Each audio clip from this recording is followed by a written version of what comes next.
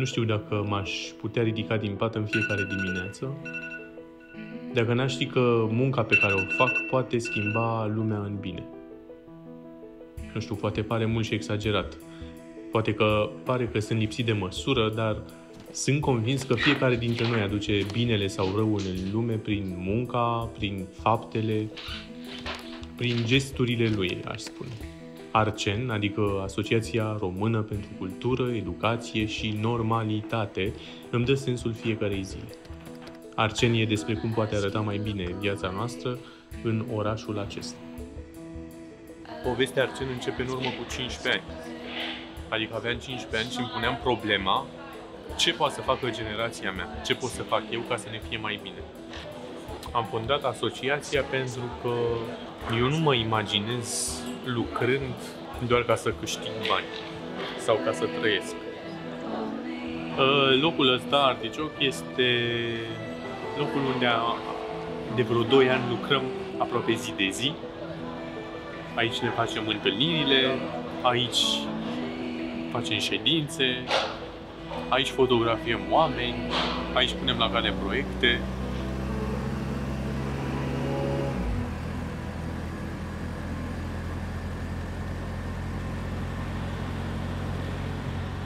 Țesutul construit al Bucureștiului se confruntă cu două mari provocări. Pe de o parte, distrugerea patrimoniului prin demolări și mutilări irreversibile și pe de altă parte riscul seismic. Sunt două probleme cu care uh, ne confruntăm cu toții în acest oraș și o luptă veche a organizației pe care o conduc. Uh, din 2017, Arcen inventariază toate clădirile vechi, noi, terenuri virane și uh, șantiere din toate cele 98 de zone construite protejate ale Bucureștiului. Riscul ca Bucureștiul istoric să dispară e foarte mare. Avem o o populație a unui oraș cu risc seismic care nu înțelege faptul că e vulnerabil. E incredibil, dar uh, mulți dintre bucureșteni cred că nu se va mai întâmpla acest cutremur, deși e o realitate.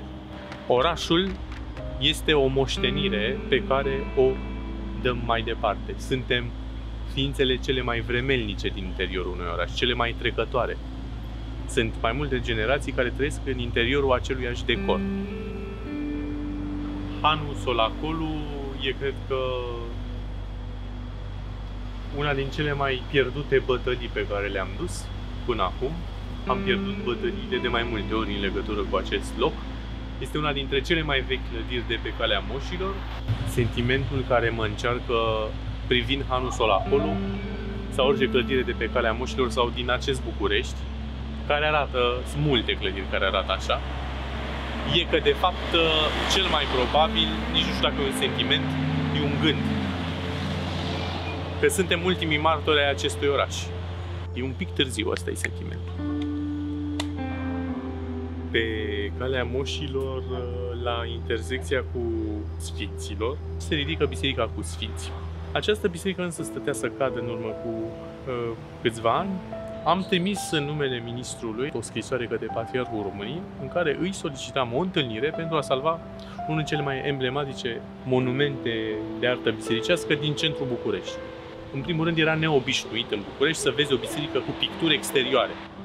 Pe pereții bisericilor se pictează sfinți, doar că această biserică nu are uh, pictați sfinți pe exterior, ci filozofi greci ai antichității.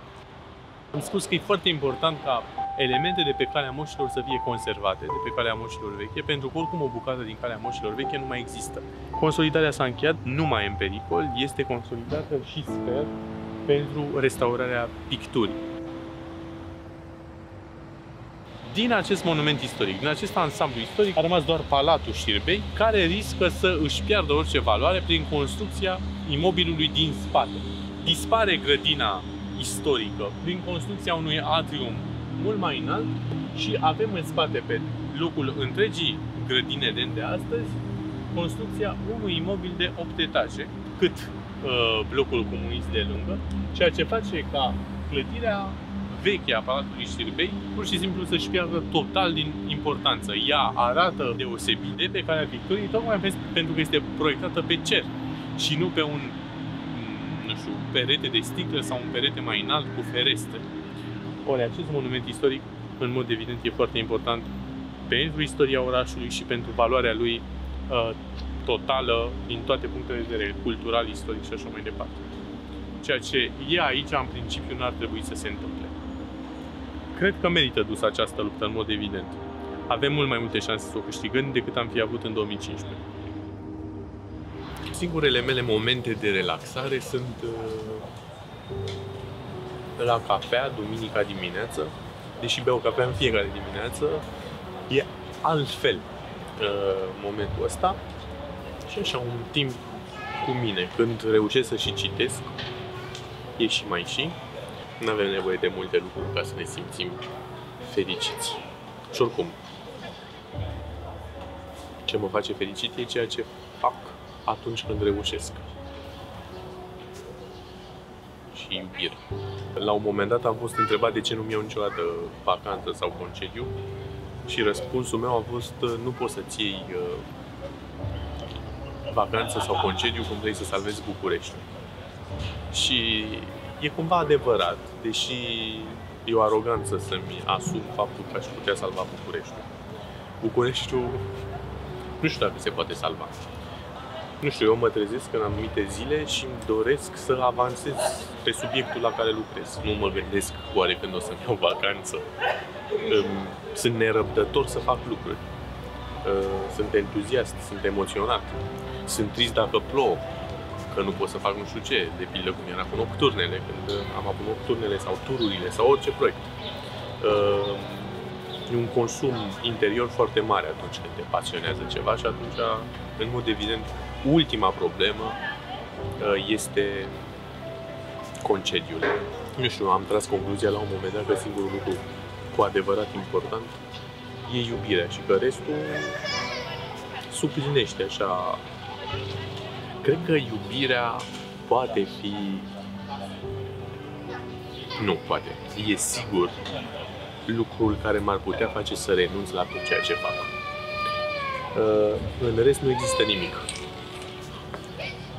Dar poate să și potențeze, adică multe lucruri pe care le fac la Arcen, multe proiecte Arcen, de fapt, au plecat din iubire. Fie că eram foarte îndrăgostit, fie că eram uh, foarte trist. Sau prea trist. Insomniile districtului, antiseismic district a plecat de la faptul că eram îndrăgostit de o fată care locuia în risc seismic și nu, nu vreau să moară. Uh, nu vreau nici acum. Uh, tot, de fapt, tot. Tururile cu basonul prin București, nocturnele, toate au avut în miezul lor un moment de iubire pe care eu îl trăiam intens și eram foarte creativ. Mănăstirea Stavropoleos e, din punctul meu de vedere, cel mai frumos loc din București, uh, unde lucrurile se fac așa cum trebuie. E un loc în care am cântat și un loc care cumva m-a format. Vin aici de 8 ani de zile, din păcate tot mai rar că n-am timp sau că nu-mi fac timp. Uh, dar e un loc care m-a inspirat enorm din multe puncte de vedere și felul în care se întâmplă lucrurile m-au inspirat aici. Am dat la teologie știind că nu o să mă fac preot, dar uh, eram foarte curios să, să înțeleg niște lucruri. Aveam nevoie să învăț niște lucruri, uh, să învăț niște lucruri care să mă hrănească cumva, nu știu să explic foarte bine. Nu cred că aș fi astăzi cine sunt dacă n-aș fi trecut pe la teologie. Am înțeles enorm de multe lucruri despre oameni, despre mine, despre sensul lucrurilor pe care le facem.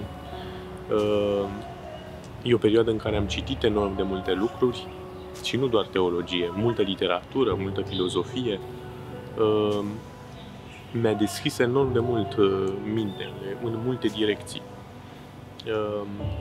Deci, perioada de teologie pe care am parcurs-o stă cumva la temelia felului în care sunt astăzi și a lucrurilor pe care le fac pentru alții și pentru oraș. Cumva căutarea propriului trecut m-a făcut să mă ocup de trecutul Bucureștiului. E un demers foarte personal, dar pe care nu l-am uh, conștientizat uh, în momentul în care l-am început. Puține din viață am locuit sau am trăit pe aici sau am trecut pe aici și la un moment dat uh, n-am mai trecut pe aici și am uitat. La 25 de ani uh, îl întâlnesc printr-o întâmplare pe vărul meu pe care nu-l cunoșteam, apoi îl întâlnesc pe tatăl lui, care îmi spune ai vrea să vezi casa în care ai locuit? Și eu îi spun că da și intrăm în această casă. 22 de ani mai târziu cel puțin uh, și brusc îmi amintesc o mulțime de lucruri dintr-un trecut pe care îl uitasem efectiv. Am intrat pe acea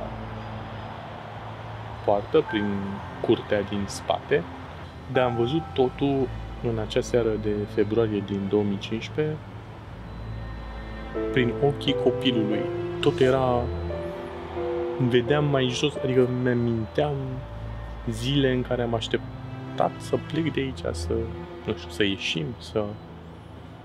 Foarte stranie atmosfera.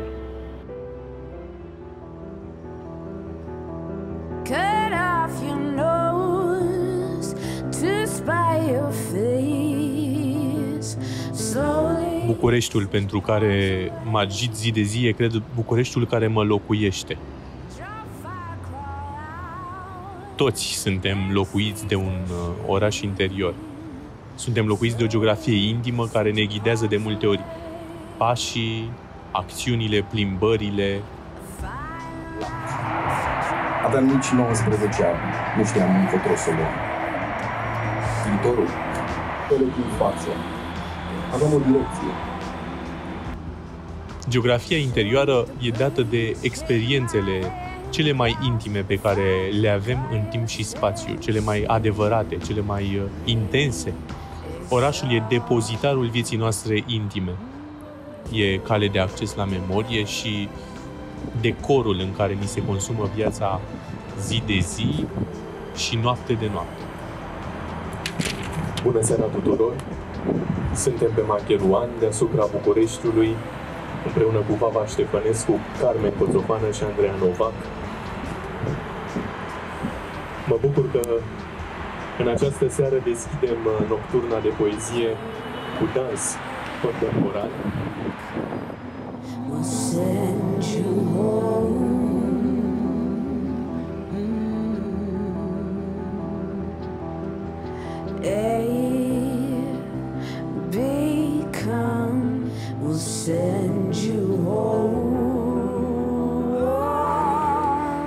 Fericirea e pe țeavă, dar vocile de unde vin?